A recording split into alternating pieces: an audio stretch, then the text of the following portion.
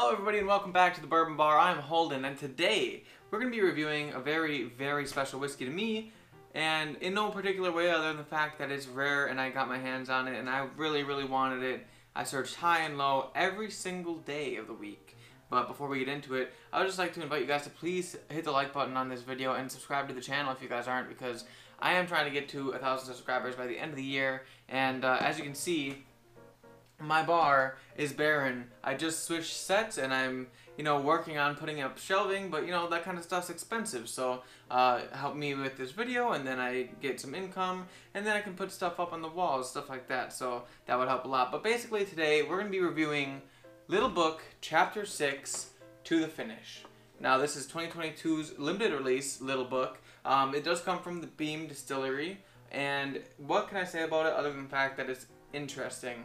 Um, a lot of people might be turned off by this because it is $130 at retail, which is uh, MSRP, and it's a little bit young. Honestly, it's a little bit young to have that kind of price tag. And while that would turn most people off, I have never had a little book before, and I like Booker's, so I figured I'll trust them. I'll uh, trust them and see what they're up to. So as you guys can see, just a gorgeous bottle. And I'm going to go ahead and read the neck tag for you guys because that's how we're going to kind of determine what's all in this whiskey. So it is a blend of five different whiskeys. One of them is a four-year straight malt whiskey finished with cherrywood staves. Another one is a four-year straight malt whiskey finished in applewood smoked barrels. Another one is a four-year-old straight malt whiskey finished in hickory smoked barrels. And then another four-year straight malt whiskey finished with Maplewood staves, and then a five-year Kentucky straight bourbon coming in at 117.4 proof. That's 58.7% alcohol, and honestly, like I just love this bottle and the design of this bottle. But for all you guys who are bourbon drinkers, um, this has a lot of malt whiskey in it. I'm not sure about ratios. It doesn't tell me the percentages but what it does tell me, a little bit younger whiskey, and it's got a little bit of a hefty price tag, but that probably means that they're to have to work extra hard, and they're blending to make this something worth that $130. That being said, I'm to pour it in the Glen, and let you guys know how it is. So this whiskey is actually one that I've searched for for a long time. Uh, the last two weeks, I actually went to the liquor store every single day after work because I wanted to get this whiskey. And then, uh, of course, I got it from the wine cellar in De Pere, which if you guys are ever in the De Pere area, go check them out. But they hooked it up. Uh, he saw me walk in. He knew what I was looking for. Went in the back room, grabbed it for me, sold me it at retail, which is fantastic. So, yeah, I'm going to go ahead and get it right on the nose for you guys. Let you guys know how this whiskey is.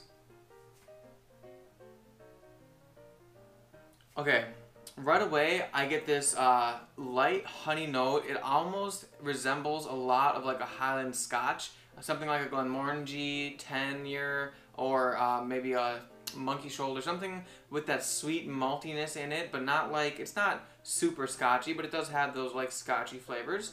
Uh, there is a light smoke in it, probably from the smoked barrels and smoked staves that were finished, that was finishing these malt whiskeys.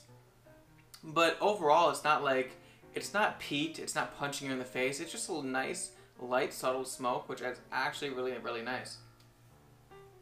I'm getting a kind of like honey cereal, like Honey Nut Cheerios, that's a pretty good note. Um, cereally vibes, there's definitely some grain in this one. Lemon zest, it's got some light fruit and actually a lot of like a green appley note as well. Green apple kind of jumps out of the glass and that's what I'm talking about when I say that light fruit. It's a nice green apple, but overall it seems really well balanced. And honestly, I could just go into more and more depth on this nose. This is just a very intriguing whiskey and uh, I think so far in the nose it's smelling like it's worth that $130 price tag. But it definitely has a sweeter presence, maybe a little bit of sweet oak there in the back end as well. But it's great on the nose. Now I'm going to check out the palate and see if this is really worth that $130 price tag that it has.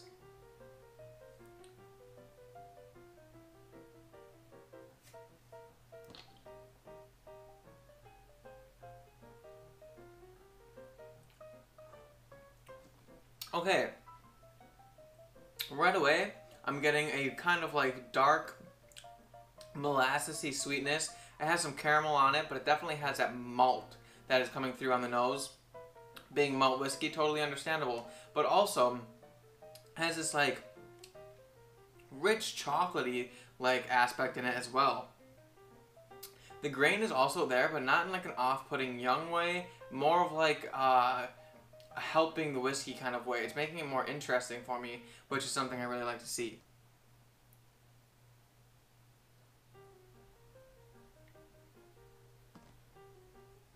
Okay.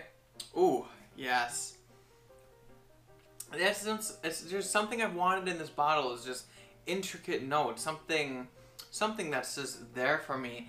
And one thing in particular, it may be a little offsetting to some of you, but to others you may find this very enjoyable. And that's like a honeyed smoked ham. And I'm talking like full-fledged um, Thanksgiving or Easter type ham. Has that like honeyed ham smoked on the grill. Very, very just nice and sweet, but at the same time savory. It almost doesn't know. It kind of has like a brininess to it, um, but not in a bad way. It it mixes well with that sweetness and kind of has just like really well put together flavors. One more try on the palate here, and then I'm going to give this guy a grade and let you guys know if you should buy it. That green apple note that I got on the nose comes through on the palate. Um, this is a full-bodied whiskey. It definitely leaves a nice Kentucky hug in the back. But it's like... Something about it is just uh, so interesting and good in a, in a different way. It's definitely not like the stereotypical bourbons, especially like anything like Booker's. Um, it does have a little bit of like a nutmeggy spice and a little bit of oak spice in there as well on the palate, but completely separate from Booker's. I mean, this is his own unique profile, and honestly, I am here for it.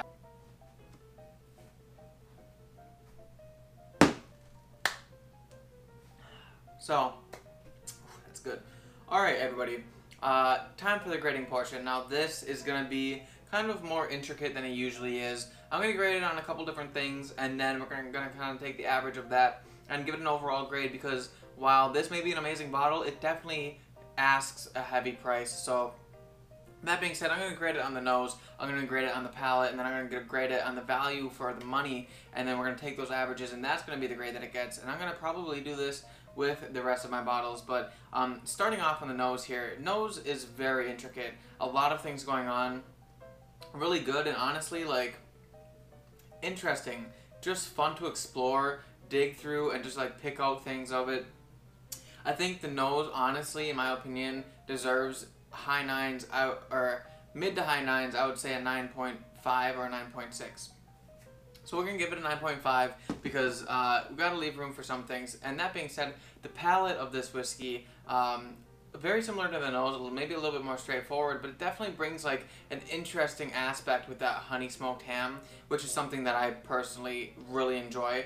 Uh, it's sweet, it's easy to drink, but it definitely has full body flavor and a nice warm Kentucky hug. So the palate of this whiskey is going to get a 9.3 out of 10. Now that leaves the value for the money, and honestly, it's $130. It's got four four-year whiskeys and a five-year-old whiskey. Uh, that doesn't add up to some very old whiskey. However, uh, it is an experimental series. It's got a lot of finishes on it. I mean, finished in four different barrels between the uh, four malt whiskeys in there, which makes something very interesting.